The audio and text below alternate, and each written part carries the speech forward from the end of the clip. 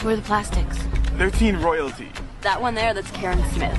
She is one of the dumbest girls you will ever meet. And that little one, that's Gretchen Wieners. Gretchen Wieners knows everybody's business. She knows everything about everyone. That's why her hair is so big. It's full of secrets. Hey, um, what's happening? And evil takes a human form in Regina George.